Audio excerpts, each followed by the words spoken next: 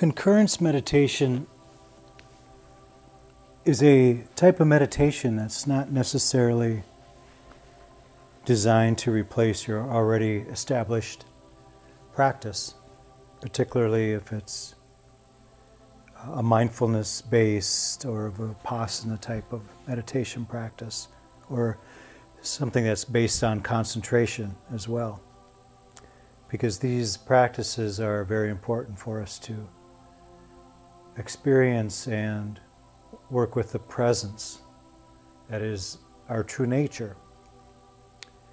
But the concurrence meditation uh, is a, uh, a unique meditation that can be used in uh, a different way. It's a, a, method for us to understand ourselves at a different level than we can with, um, perhaps, than we can with concentration and uh, mindfulness practices. The word concurrence means a situation in which two or more things happen at the same time. And concurrence meditation has three distinct areas to it. Uh, it's a little bit different than any other form of meditation in that there is some uh, physical writing involved, never during the meditation, but before and after the meditation. And so to start this meditation, you will have to get a piece of paper and something to write with a pen or a pencil. So you can gather that. And that is a uh, really the, the uniqueness behind this practice in that there is this setup in this way. So the the meditation has an intention to it, like any other meditation, and that, of course, includes finding the proper place to practice and finding a place that is free from distractions and, so forth. Making yourself comfortable, but also getting uh, a piece of paper and a pen to write with. Now, there's also an induction, uh, and this is what kind of makes the meditation very similar to a, thero, uh, a hypnotherapy um, and this is done within the meditation. You'll, you'll feel this. Uh, it's a, uh, a very um, uh, uh, it's part of the practice that enables one to get into their comfortable place or their destination that they might be working towards.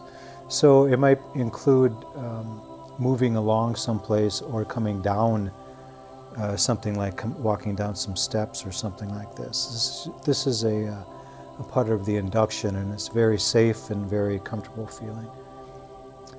Um, then there's the, some questions and answering that you should be prepared to be prepared to do, and then there's a journey back, and then afterwards,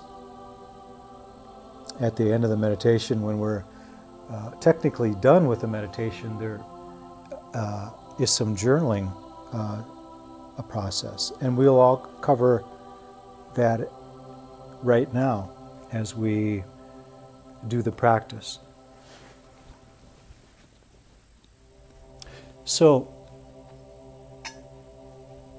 with the uh, piece of paper and pencil in front of you, I will ask that you write down three questions that you would ask a uh, truly somebody that you felt was truly a higher source of uh, consciousness, higher source of knowing, um, that you really felt with all your heart had true uh, wisdom. And these are questions, um, and please write them down while you think of them. As soon as I ask what questions you might ask, something will come to mind. Don't hesitate to write it down. We need three of them.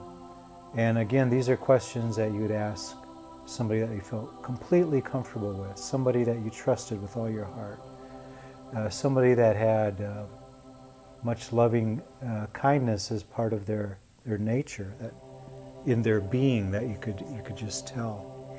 And um, somebody that had the answers to the question you're going to ask.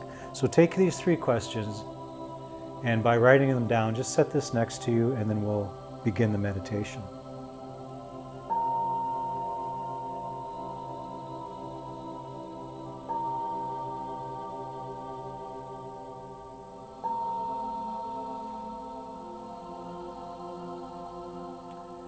Allow the eyes to close. Make sure the body feels comfortable. This is very much a visualization type of practice.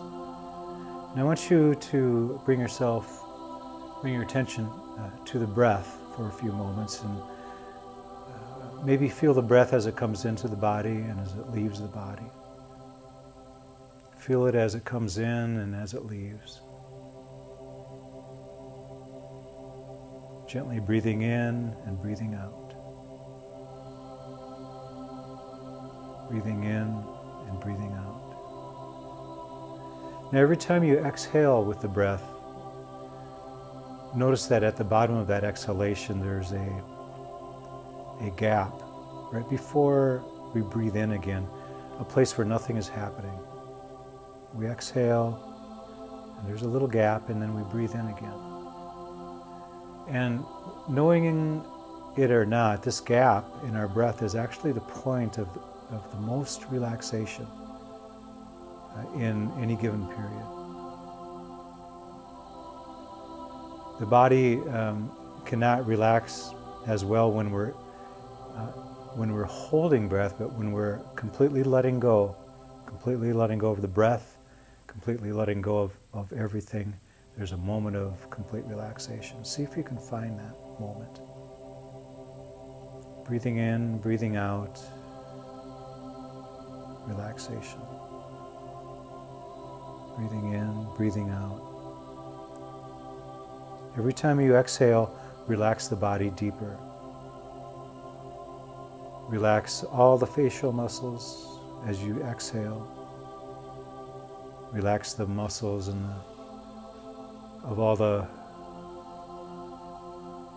tension that might be held in the neck and in the shoulders. This is an area that we often hold on to stress and tension. Allow the arms to relax, allow the torso to relax, relax the lower back, another area. Complete relaxation. Breathing out. And then bring this relaxation all the way down through the hips and into the legs of the body, the thighs, knees, shins, calves all the way down into the feet, relaxing the toes themselves. Just imagine any kind of tension that you might have in the body, just allow it to leave the body, either through the fingertips or, or through the toes, or just allow it to be let go of.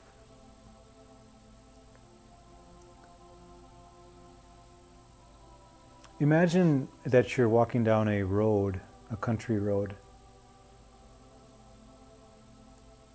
Something that we might refer to as a dirt road or a gravel road. And it's, it's kind of high up in the air, down below uh, a few feet, we can see the, the landscape.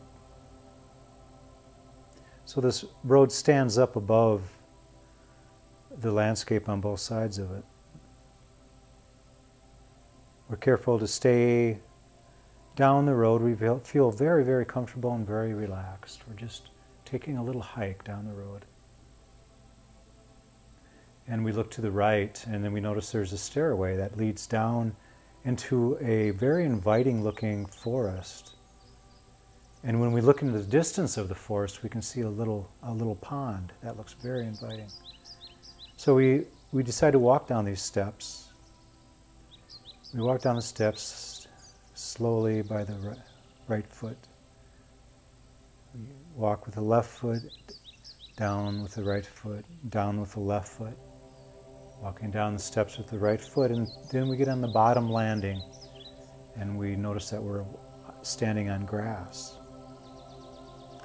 And we begin to walk towards the forest, it's making our way towards the pond that we notice. Beautiful, very beautiful pond. It's just beckoning our name, it's calling us. The weather is very beautiful, just a slight breeze perfect temperature. There's no annoying insects. Everything is very comfortable. You feel very happy. You find your way next to the pond in the forest. How clear and still it is. You could, it looks like a mirror. You can actually see the reflection of the trees and the sky and the grass along the edges. You can see the reflection of everything, just like looking into a mirror. Can even see the reflection of yourself when you stand close enough to the pond. But you back up and you look on shore and you notice that there's a very comfortable place to sit and relax. So, just as you're sitting right now, whether it's on a cushion or chair, whatever it might be, visualize yourself next to this pond, sitting in this way. Very comfortable, very relaxed, very happy to be in this place. So you just gently close your eyes for a while, take in the scenery of this pond, just take in the senses you're hearing and you're smelling the fresh air. You can feel your body against the, the cushion or the chair. You feel very good, very happy. And you just bring in your attention to the breath for a few moments.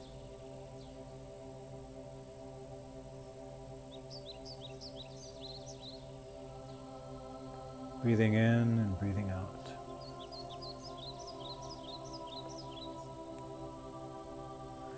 Very happy to be at this place. We look, uh, we open our eyes and look out on the pond, and we can see the mirror-like image, crystal clear.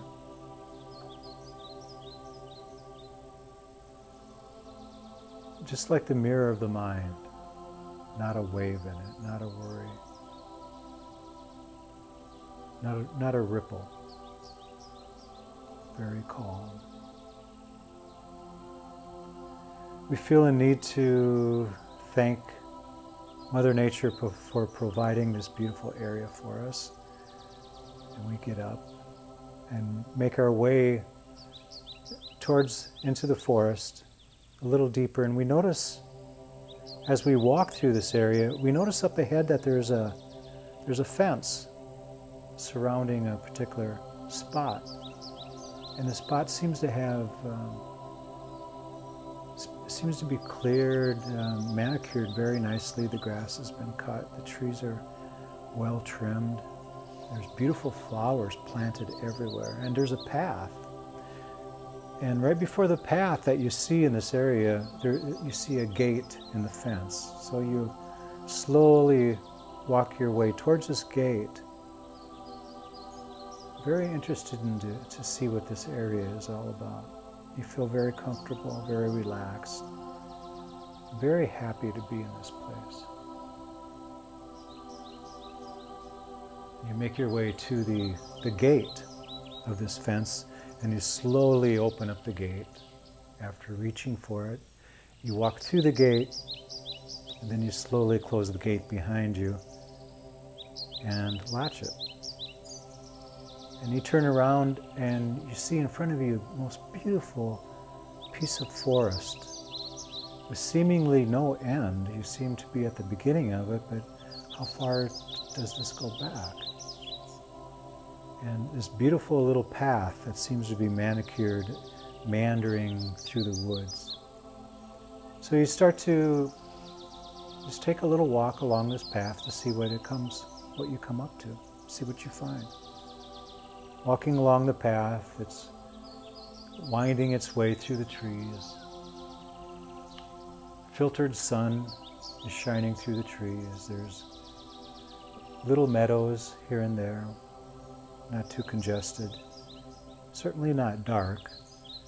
Very lively place where there's flowers, some tall trees, short trees, bushes, little animals, birds, rabbits. You're walking along the path very slowly, just taking your time, enjoying yourself. Walking along, you realize that you're coming upon a Y in the road or a decision to go left or right. So you, you hesitate there and you decide on your path and you take it. And when you've go, come along that path, you feel that you didn't leave anything behind by making that decision, that you know that you made the right decision by taking that way of the path, by taking that why. You're walking along the path, very, very beautiful. You're very, very glad that you made that decision for that area. It's winding along the trees, very, very joyful. Perfect weather, beautiful blue sky. Walking along very slowly, enjoying yourself, looking about.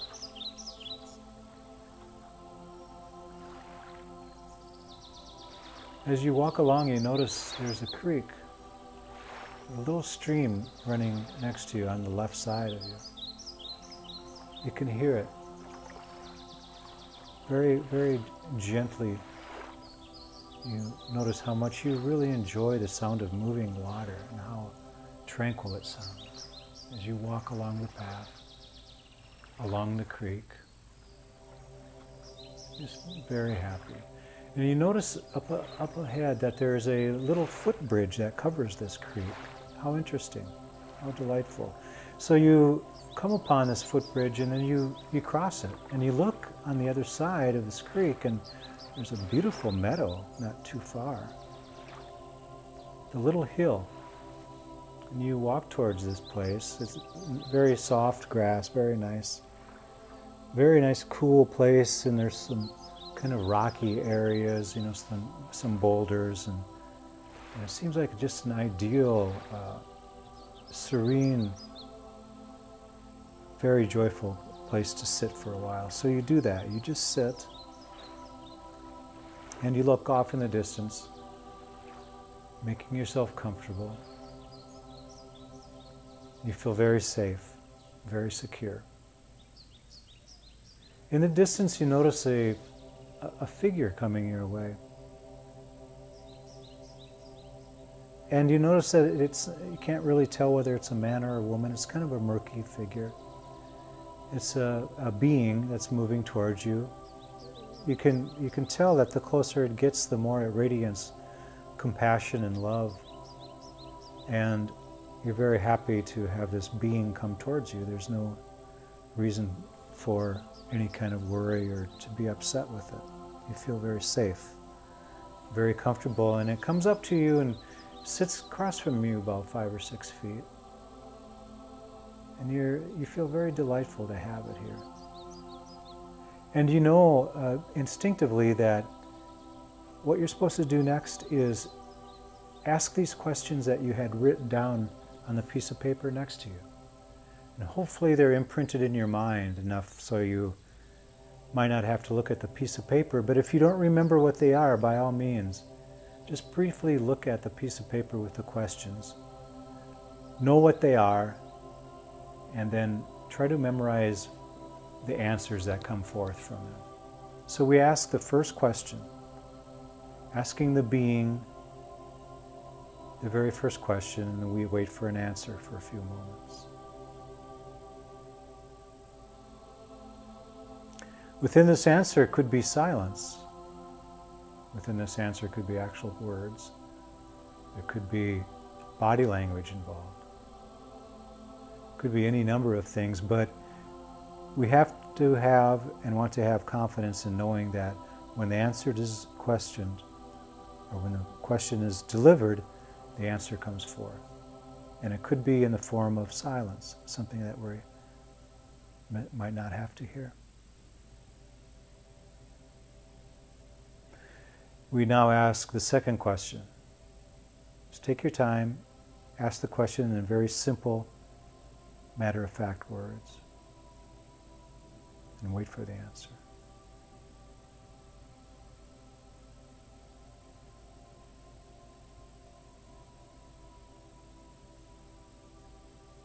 Now, again, the answer might come forth in different ways body language, words, through silence.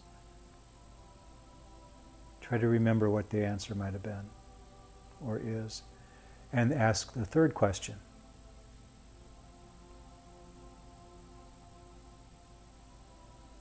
Carefully asking the third question, notice what the answers are.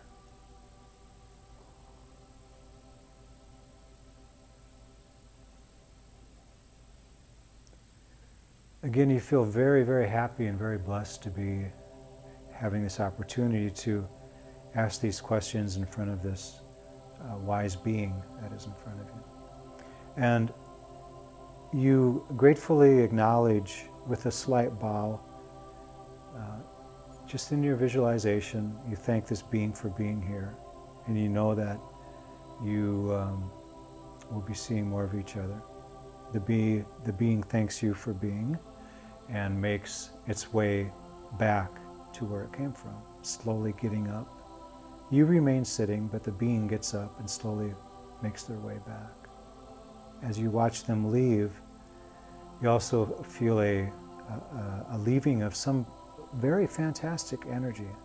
You feel like this was a, a very important event, a very important meeting of between you and this per, this person or this being. You're very happy for the experience.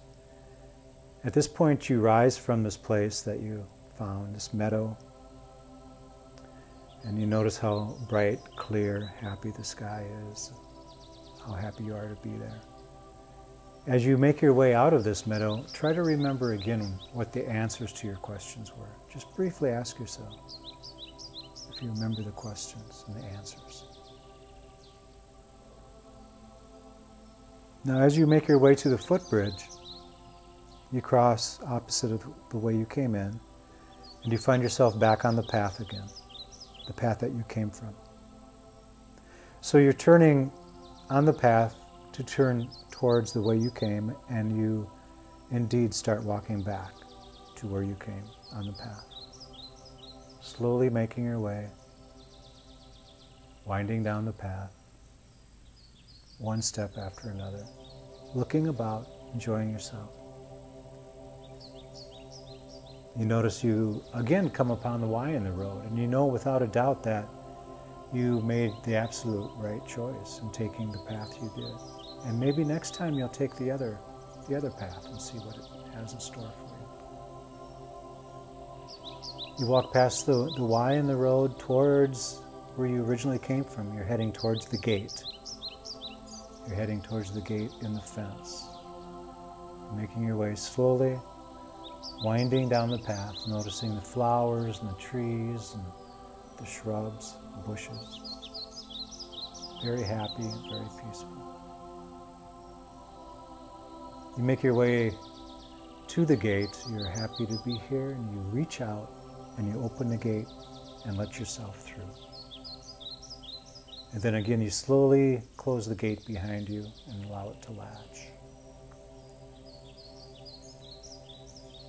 You then turn around and make your way back to, again, where you came from. You came from the pond. You head towards the pond, slowly making your way there.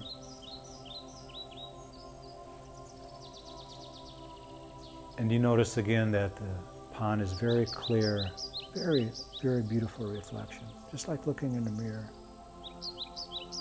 You look in the pond yourself and you see that you look very, very clear. Your eyes are clear, your skin is clear. You look happy. You look complete. And you back off and you notice the reflection of the grasses and the trees and the clear blue sky in the pond. Very beautiful. You notice the spot where you were sitting a little while ago. And you thank that pond for being there and thank it for giving you its guidance. And you head towards the little stairway that leads you up to the road where you began. You're walking up to the stairway. You step on the stairway using your right foot. You step on up on the next rung and with your left foot And again with your right foot. You're stepping up with your left foot, your right foot. And then you find yourself on the road, on the country road. And you head back to where you came from on that road. But you might decide to head down the road a little bit further if you like, just to see what's there. But just imagine yourself on this road and knowing that this is your path in life. Too far to the left, too far to the right might not get you where you want to go, as opposed to just staying down the middle. With wisdom and morality and the practice of meditation, these things can help us stay there in the middle of this path.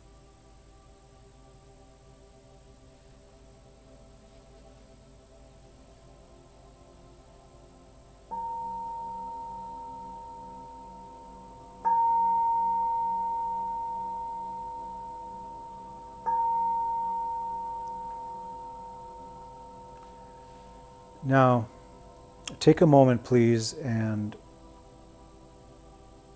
remember the questions and the answers. And the idea is to write the answers underneath each question.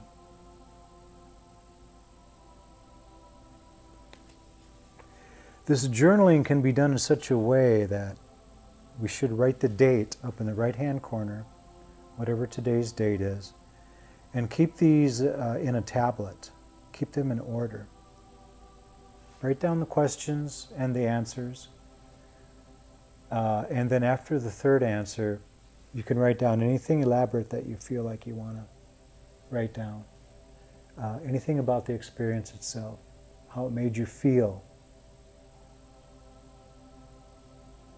how it felt to commune with, with this being who you. Uh, what it might have represented for you. The idea is not to try to make the being very personal or something that you recognize, but uh, making it something that is more of a uh, uh, makes more of a presence of of wisdom. So that's not very uh, cognitive for you. There's no trying to figure out what this is or who it is. Use these questions and answers for guidance in your life. You have an opportunity to ask uh, a question, any maybe a very very important question, and uh, if the answers are there, which usually they are, I've been instructing this type of meditation for quite a while, and I get amazing reports from people from the answers that come from the questions, and of course the answers come from within you. Nothing outside is really directing this. The, all of the answers are inside of you already, and what, all we're doing is, a, uh, is letting go and allowing them to come forth. So this is uh, uh, has been concurrence meditation, and you can find out more about this on the link below, or you can visit a meditation learning center or uh, shanewilson.org, and you will find uh, more detailed information about this. So I hope you enjoy, I hope you can use it, and thank you very much for listening.